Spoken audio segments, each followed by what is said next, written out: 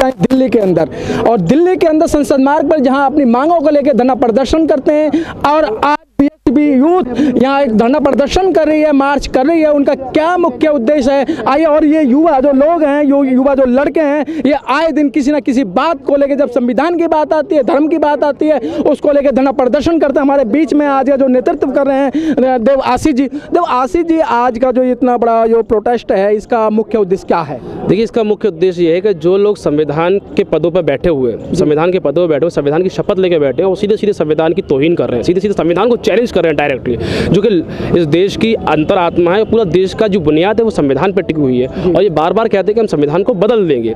इस तरीके के बयान के बाद भी इन लोगों की सम, इनकी जो पोस्टें हैं चाहे वो मिनिस्टर पोस्ट हो चाहे ये संसद की सदस्यता वो बरकरार रखी रही हुई है। अनंत कुमार हेगड़े ने दो बार ऐसा बयान दिया है। इससे पहले 13 जून 2016 को भी वो आउटलुक मैगजीन को अपने बयान में बोल चुके हैं कि चूँकि भारतीय जनता पार्टी के पास इस समय पूरी तरीके से सत्ता है उनके पास तो इसलिए ये अनुकूल समय है संविधान में बहुत सारी कमियाँ हैं अनुकूल समय है कि पार्लियामेंट को बदल के कंस्टिट्यूट असेंबली में ट्रांसफ़र कर दिया जाए और संविधान को बदल दिया जाए। ऐसा बयान वो पहले भी दे चुके हैं और उसका दूसरा बयान है, क्योंकि पहले बयान के बाद शायद उनसे कोई किसी ने आवाज़ नहीं उठाई कोई कार्रवाई नहीं हुई इसलिए उनकी हिम्मत इतनी बढ़ गई कि अब क्योंकि कर्नाटक का इलेक्शन पास आ रहा है तो उन्होंने फिर से इस तरीके की बात उठा दी है। देवासी जी मैं आपसे बात करूँगा कि मेंबर ऑफ़ पार्लियामेंट जो भारतीय संविधान के तहत 132 हैं और विधानसभा के अंदर शायद 438 या 435 के लगभग हैं। ये आप ही ने ये मुद्दा क्यों उठाया? जो मेंबर ऑफ़ पार्लियामेंट है वो अभी तक बाबा साहब के संविधान से जीत कर आए हैं उन्होंने अभी किसी तरीके की टिप्पणी नहीं की है।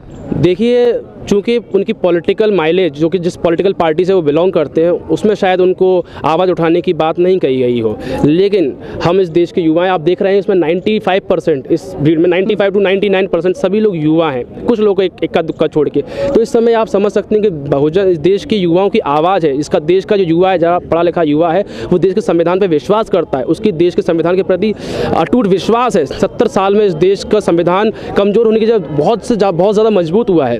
ये लोग कहते हैं कि हमने सौ संविधान संशोधन कर दिए संविधान संविधान में संशोधन संविधान को मज़बूत करने के लिए संविधान को बदलने के लिए नहीं है। और संविधान को बदल देने की बात कहना अपने आप में एक बहुत गंभीर मुद्दा है और उसको उसी गंभीरता से लिया जाना चाहिए। पॉलिटिकल पार्टीज़ अगर नहीं कर रही हैं तो सोशल प्लेटफॉर्म से हम जैसे लोग और हमारे जैसे कई लोग कई जगह पर इसके प्रदर्शन हो रहे हैं। कल बेंगलोर में हमारी टीम ने प्रदर्शन किया है रीवा में भी प्रदर्शन किया है और आज हम लोग दिल्ली में कर रहे हैं। इसके अलावा और भी जगह पर प्रदर्शन होंगे और हम आपके चैनल के आशीष जी मैं ये फिर एक आपको बताना चाहूँगा जो 132 मेंबर ऑफ़ पार्लियामेंट हैं, उनके प्रति आपकी क्या विचारधारा है? देखिए, कल गाजियाबाद में प्रोग्राम था जिसमें रामदास अट्ठावले जी वहाँ पर अतिथि थे, मुख्य अतिथि थे। और वहाँ पर इस समाज के लोगों ने वहाँ उनका बहुत ज़्यादा विरोध किया है, बहिष्कार किया है उनका। तो इससे समझ में आता है कि जनता के बीच में, समाज की जनता के बीच में बहुत ज़्यादा रोष है इस बात को लेकर। और और जो कि अब ये लोग कभी पब्लिक प्लेटफॉर्म पर जाएँगे तो मुझे लगता है कि जनता इनसे वाजिब तौर पर सवाल जवाब करेगी कि आप वहाँ पर हो हमारी आवाज़ उठाने के लिए, जब इतनी बड़ी बात कोई मंत्री कह देता है इतनी सीना ठोक कर कि वो संविधान को बदल देगा तो आप वहाँ किस लिए हो कि आप सवाल नहीं पूछ सकते। तो ये सवाल जनता उनसे ज़रूर पूछेगी। देखिए आगामी योजना क्या रहेगी इसको? और अभी पहले आपने महेश शर्मा के खिलाफ एफआईआर कराई थी आपने एक शरद श्रीवास्तव के खिलाफ कंप्लेंट कराई थी। क्या आप उसकी की पैरवी हो रही है या नहीं हो रही है? क्या कारण है? देखिए हम लोग का जो कार्य जो हम लोग जिस तरीके से हम लोग बाहर निकल के आ रहे हैं हम लोग का मोटिव क्या है? हम लोग का मोटिव यह है कि जनता को युवाओं को ज़्यादा से ज़्यादा सजग करना।